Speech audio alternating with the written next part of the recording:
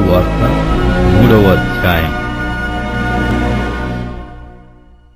సమాజ మందిరములో ఆయన మరల ప్రవేశింపగా అక్కడ ఊచిచేయి గలవాడొకడుండెను. అచ్చటివారు ఆయన మీద నేరము మోపవలెనయుండి విశ్రాంతి దినమున వానిని స్వస్థపరచునేమో అని ఆయనను కనిపెట్టుచుండిరి. ఆయన నీవు లేచి మధ్యను నిలవమని ఊచచేయగలవానితో చెప్పి వారిని చూచి విశ్రాంతి దినమున మేలు చేయుట ధర్మమా? కీయుడు చేయుట ధర్మమా? ప్రాణరక్షణ ధర్మమా? ప్రాణహత్య ధర్మమా? అని అడిగెను. అందుకు వారు ఊరుకుండిరి. ఆయన వారి హృదయ కాఠిన్యమునకు దుఃఖపడి కోపముతో వారిని కలయచూచి నీ చేయి చాపమని ఆ మనుష్యునితో చెప్పెను. వాడు తన చేయి చాపగా అది బాగుపడెను.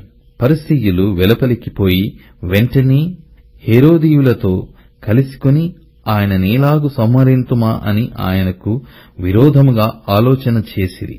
యేసు తన శిష్యులతో కూడా సముద్రమునంతకు వెళ్ళగా గలలియ నుండి వచ్చిన గొప్ప జనసమూహము ఆయనను వెంబడించెను.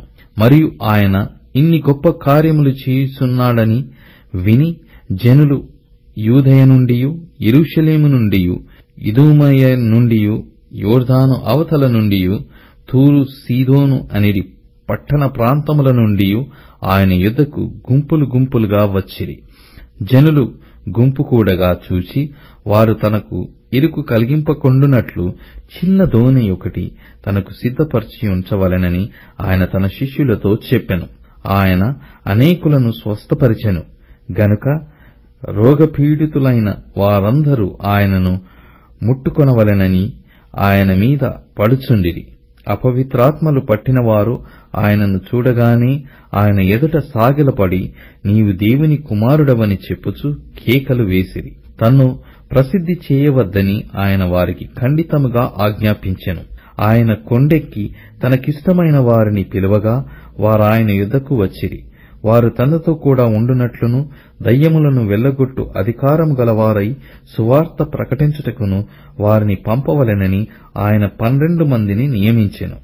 వారెవరనగా ఆయన పేతురను పేరు పెట్టిన సీమోను జబదయి కుమారుడగు యాకోబు అతని సహోదరుడగు యోహాను వీరిద్దరికీ ఆయన బోయనీర్గెస్సను పేరు పెట్టెను. బోయనీర్గెస్సు అనగా ఉరిమిడు వారని అర్థము. ఆంధ్రయ్య ఫిలిప్పు బర్తలోమయి మత్తయి తోమ అల్ఫై కుమారుడగు యాకోబు తద్దయి కానానీయుడైన సీమోను ఆయనను అప్పగించిన ఇస్కారియేతి యూదా అనువారు. ఆయన ఇంటిలోనికి వచ్చినప్పుడు జనులు మరలా గుంపులు కూడి వచ్చిరి. గనక భోజనము చేయుటకైనను వారికి వీలు లేకపోయెను.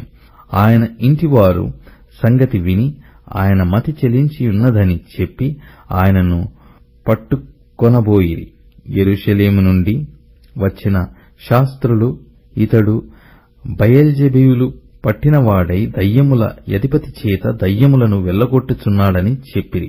అప్పుడు ఆయన వారిని తన యుద్ధకు పిలిచి ఉపమాన రీతిగా వారితో ఇట్లనెను సాతాను సాతాను నీలాగు వెళ్ళగొట్టును ఒక రాజ్యము తనకు తానే విరోధముగా వేరుపడిన ఎడల ఆ రాజ్యము నిలువదు నిలువనేరదు ఒక ఇల్లు తనకు తానే విరోధంగా వేరుపడిన ఎడల ఆ ఇల్లు నిలు నిలువనేరదు సాతాను తనకు తానే విరోధముగా లేచి వేరుపడిన ఎడల వాడు నిలవలేక కడతీరును.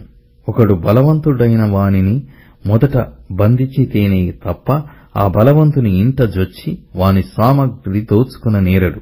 బంధించిన ఎడల వాని ఇల్లు దోచుకొనవచ్చును.